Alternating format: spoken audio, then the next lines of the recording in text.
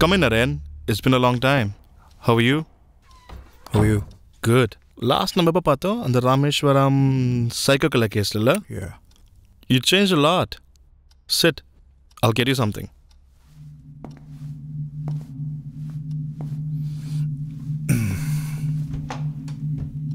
Naren, whiskey? Uh, no. You sure? Mm-hmm. All right.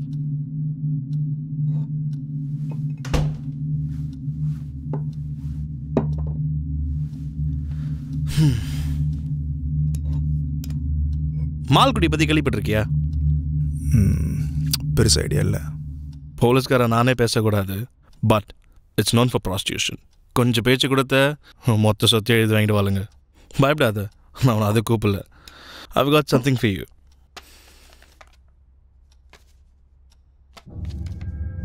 This guy's name is Terry Daniels. ஒரு ரெண்டு வாரமாக is missing ஒரு துப்பும் கிடைக்கல. Complaint யார் கொடுத்தா? அவன் கேர்ள் ஃப்ரெண்ட் மால்குடிக்கு ஓடி போய் கல்யாணம் பண்ணலான்னு பிளான் பண்ணியிருக்காங்க. இவன் முன்னாடி போயிருக்கான். அதுக்கப்புறம் his missing any leads nothing much but Malgudi railway station CCTV ஃபுட்டேஜில் பார்க்கும்போது he was wearing the same shirt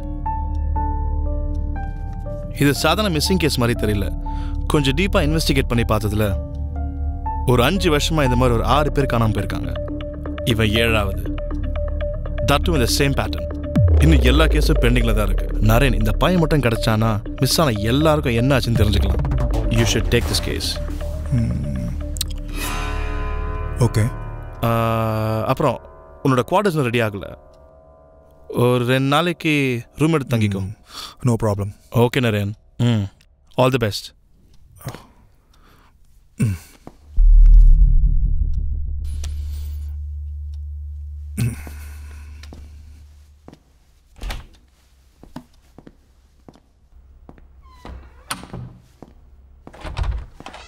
Naren, be careful. Malgudi won't be easy.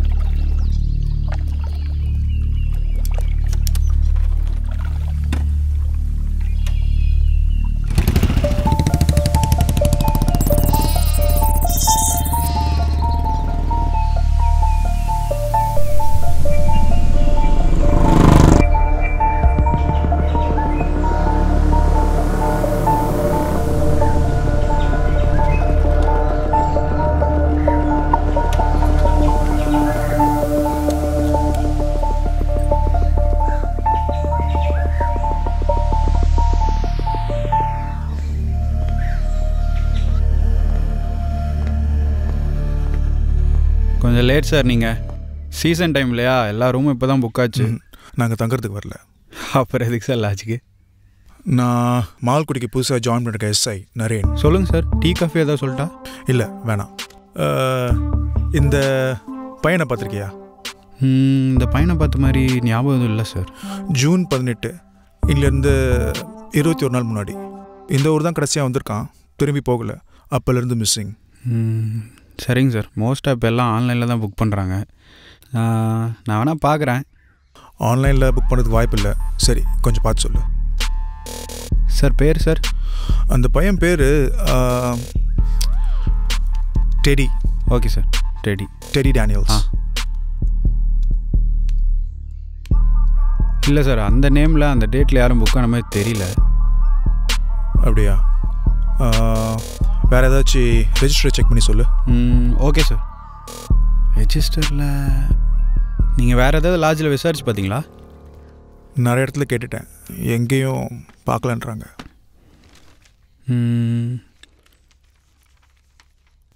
அந்த டைமில் நம்ம பையன்தான் ஒருத்தர் இருந்திருக்கான். அப்போ நான் இல்லை. பாருங்க கோழிக்கு இருக்கிற மாதிரி கிறுக்கி இருக்கான். கையெழுத்து பாருங்க. சரி சார் நான் கூப்பிட்றேன். நீங்கள் கொஞ்சம் வெயிட் பண்ணுறீங்களா சரி வெயிட் பண்ணுறேன் கூட்டு வா. உட்காருங்க சார் ம்.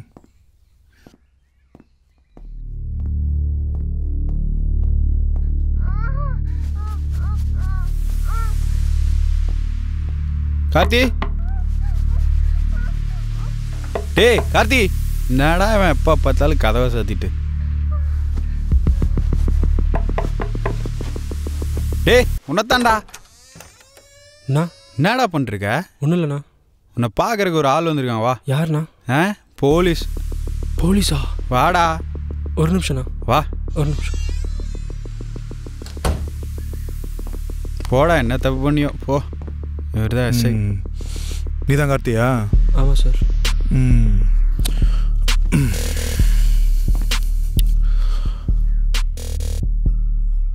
இந்த பையனை பார்த்துருக்கியா? இல்லை சார். இல்லையா? இல்லை. ஒழுங்காக சொல்லு. என்னை திரும்பி வர வைக்காத. இல்லைனா வேற மாதிரி விசாரிக்க வேண்டியதாக இருக்கும். இல்லை சார். தெரியல. ம். சரி. என் நம்பர் கொடுத்துட்டு போகிறேன் சரிங்க சார். ஏதாச்சும் வந்துச்சுன்னா எனக்கு கால் பண்ணு. ஓகே கண்டிப்பாக பண்ணுறேன் ம். சார் சார் சார் சார் ஒரு நிமிஷம். சார் அந்த ஃபோட்டோ ஒரு தடவை பார்க்கணும்.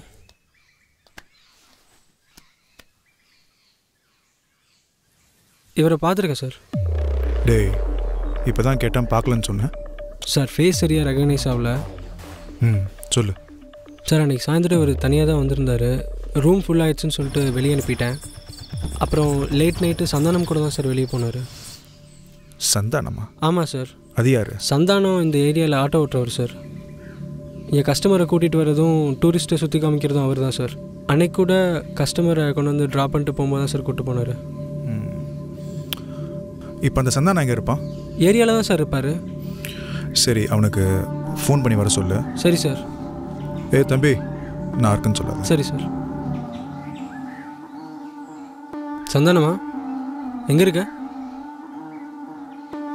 இல்லை ரெசார்ட்டுக்கு ஒரு சவாரி வந்திருக்கு. வர முடியுமா? ஆ சரி. சார் ஒரு பதினஞ்சு நிமிஷத்தில் வந்துடுவார் சார். ம் சரி. தம்பி நாங்கள் வெயிட் பண்ணுறேன் வந்தோடனே கூப்பிடு. சரி சார். டேய்! சார். பெட்டி கொஞ்சம் எடுத்துகிட்டு வா. ஆ ஓகே சார். ம்.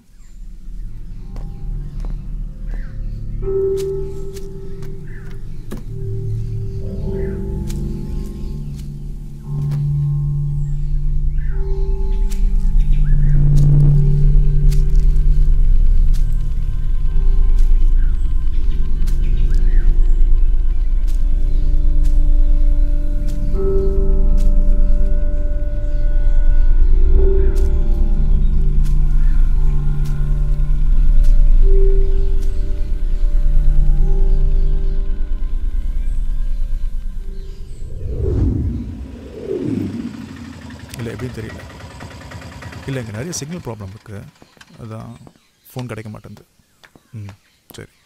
கார்த்தி! சரி ஆ, நான் கூப்பிட்றேன். டே கார்த்தி! டே கார்த்தி சவாரி எங்கடா? சீக்கிரம் போகணும். நீ தான் சந்தானமா ஆமா சொல்லுங்க. ம் உன் கூட கொஞ்சம் பேசணும் வா. நீங்க? அ, வணக்கம் சார். ம். இந்த பையனை ஞாபகம் இருக்கா? ஆ ஞாபகம் இருக்கு சார். ரெண்டு மூணு வாரத்துக்கு முன்னாடி நம்ம ஹோட்டலில் தான் வந்தார். ரூம் கிடைக்கலன்னு சொன்னார். நான் தான் நம்ம பன்னிக்கறி பாட்டி வீட்டில் தங்க வச்சேன்.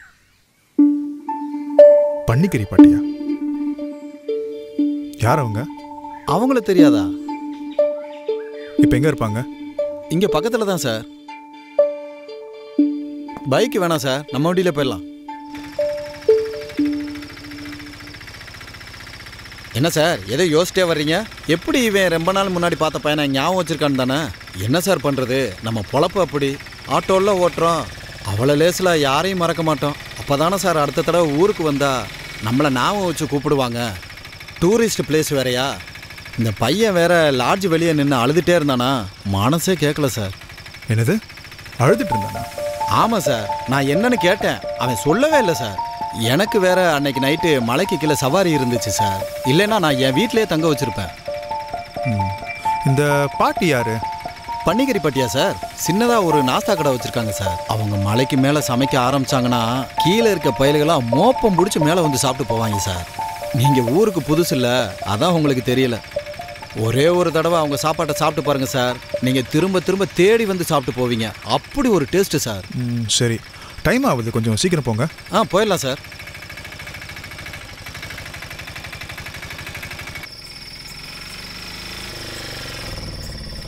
இதான் சார் அந்த பாட்டி வீடு. வேற யாரெல்லாம் இருக்காங்க? அதை ஏன் சார் கேட்குறீங்க அது ஒரு பெரிய கதை. இருபது வருஷத்துக்கு முன்னாடி இந்த பாட்டிக்கு ராஜின்னு ஒரு பொண்ணு இருந்தா சார். ரொம்ப அழகா இருப்பா. எங்கள் ஊர் பயலுக ஃபுல்லாக அந்த பொண்ணு பின்னாடி தான் சார் சுற்றுவாங்க நானும் தான் சார் ஆனால் அந்த பொண்ணு வெளியூர்லேருந்து வேலைக்கு வந்த ஒரு பையனை லவ் பண்ணா சார் ரெண்டு பேரும் உயிருக்கு உயிராக காதலிச்சாங்க.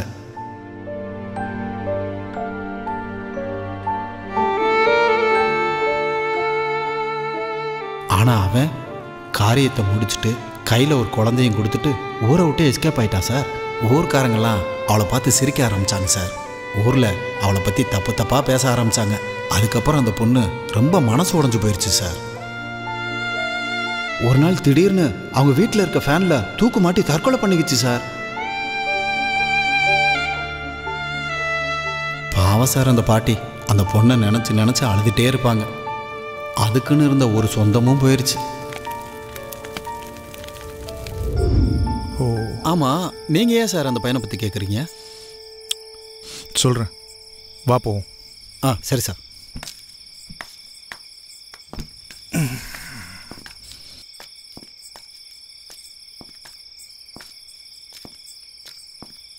பாட்டி பாட்டி பாட்டி பாட்டி. பாட்டி இவர்தான் மால்குடிக்கு புதுசாக வந்திருக்க எஸ்ஐ. அன்னைக்கு நான் ஒரு பையனை கூட்டு வந்து விட்டேன்ல அவனை பற்றி விசாரிக்கணும்னு வந்திருக்கிறாரு. உள்ள வாங்கப்பா. சரிங்க சார். நீங்கள் பேசிகிட்டு இருங்க. என் வீடு பக்கத்தில் தான் இருக்குது நான் போயிட்டு வந்துடுறேன். ஓகே. ஆ.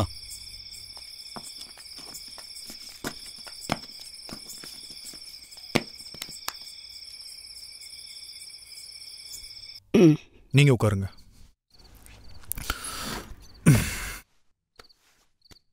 பாட்டி இந்த பையன் எங்கே வந்தானா. இந்த பையன் மூணு வாரத்துக்கு முன்னாடி இங்கே வந்தான்ப்பா. மூணு வாரத்துக்கு முன்னாடி வந்தானா?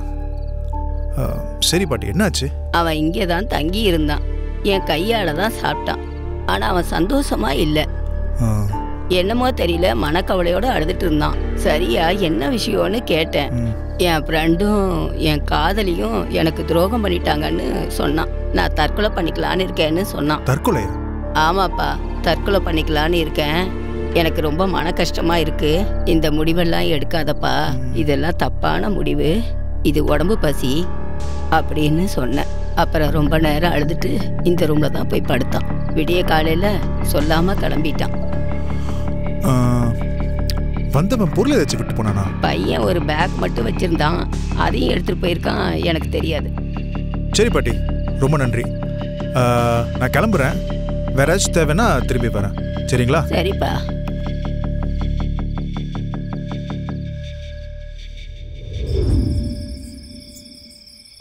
எங்கேயும் சிக்னல் இல்லையா? ஷிட்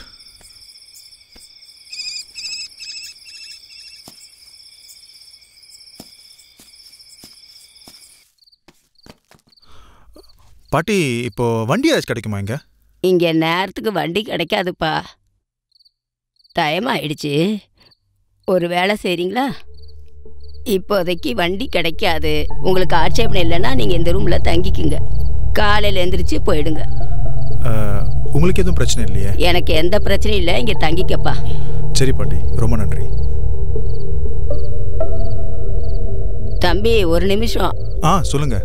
சாப்பிட்டியா? இல்லை பரவாயில்ல. நான் சாப்பாடு எடுத்து வைக்கிறேன். வயிறை காய போடாத.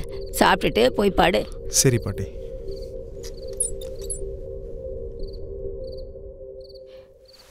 தம்பி கறி சாப்பிடுவல்ல?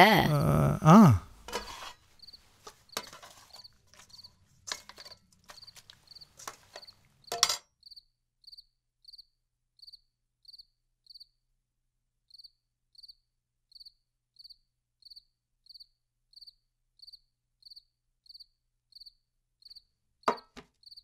பாப்பா சாப்பிட. ஆ இதோ வரேன் பாட்டி.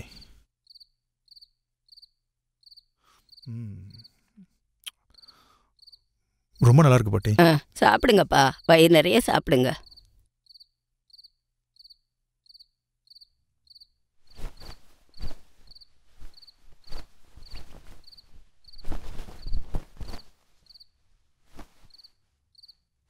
தம்பி நீங்கள் தூங்குங்க. நான் ஹாலில் தான் படுத்திருக்கேன். ஏதாவது தேவைப்பட்டா என்னை கேளுங்க நான் தரேன் சரி பாட்டி.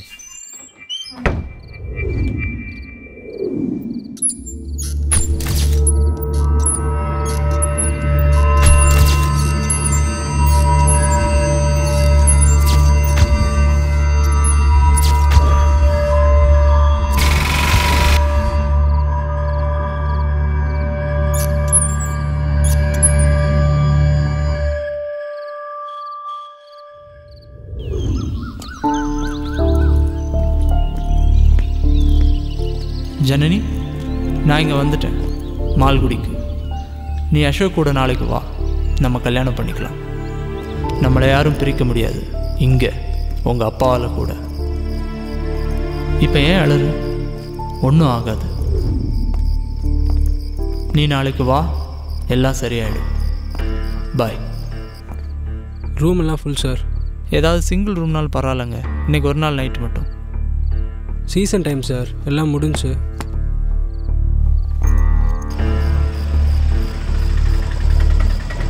என்ன சார் இங்கே உட்காந்துருக்கீங்க ஆட்டோ வேணுமா? எங்கேயுமே ரூம் கிடைக்கலண்ணா. அப்படிங்களா? சரி ஆட்டோவில் ஏறுங்க.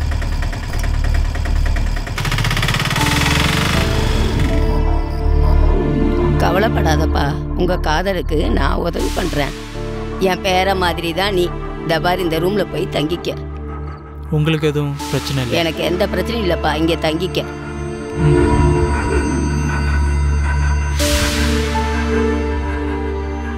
சாப்பிடுப்பா. வயிறு நிறைய சாப்பிடு. யோசிக்காத.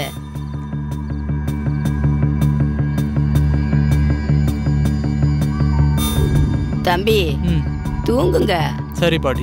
நான் இங்கே வெளியில் ஹாலில் தான் படுத்திருக்கேன். ஏதாவது தேவைப்பட்டா கேளுங்க. Okay.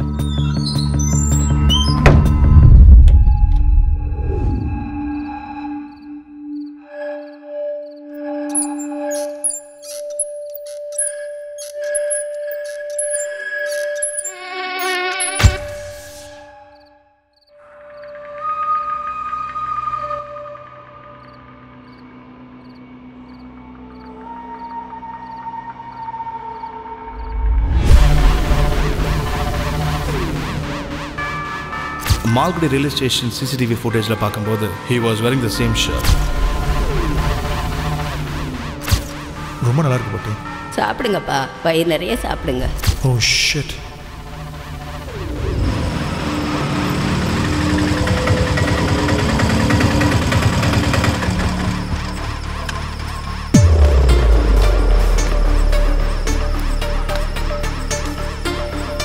பாட்டி!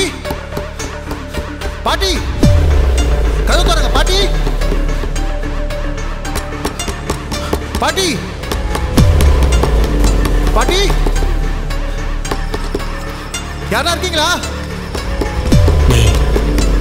வா. வா. பாட்டி. கதவு திறங்க.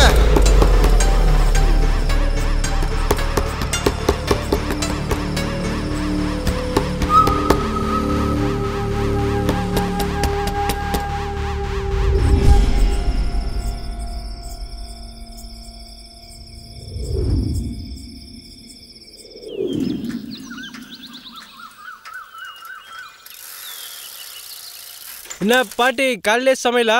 ஆமாப்பா ஒரு கருப்பு பண்ணி கிடச்சிது. அதான் அதை அடித்து குழம்பு வைக்கிறேன். வச்ச பின்னால சொல்கிறேன் வந்து சாப்பிட்டு போங்க.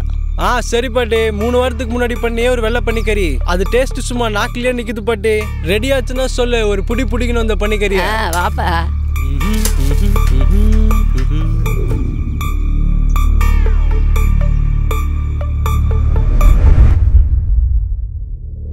ராஜி பாவம்.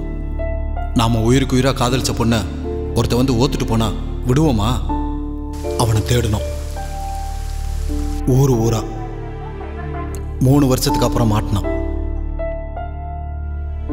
தூக்கணும். ஒரு வீட்டில் அடைச்சி வச்சு சித்திரவதை பண்ணும் சித்திரவதைனா என்ன? அவங்கிட்ட யாருமே பேசலை. ஏழு வருஷத்துல அவன் பைத்தியமாவே ஆயிட்டான். ஆனா ராஜி அவனால மட்டும் சாகலை. இந்த ஊருக்காரங்க அவங்களோட சிரிப்பு அவங்களோட ஏளனம். எல்லாரையும் பழி வாங்கணும்னு நினச்சோம். எப்படி? அவங்களுக்கு வயிறு நிறைய சாப்பாடு போட்டோம். நல்லா சாப்பிட்டானுங்க. செனப்பண்ணிய. ஆனால் அவனுங்க என்ன சாப்பிட்டானுங்கன்னு எங்களுக்கு தான் தெரியும். ஒன்னே மாதிரி இன்னொரு போலீஸ் எங்களை தேடி வருவான். அவன் எங்களை கண்டும் பிடிப்பான்.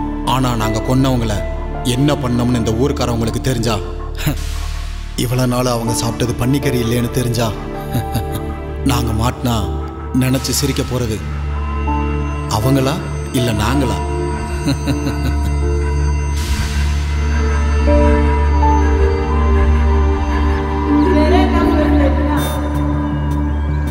Yeah.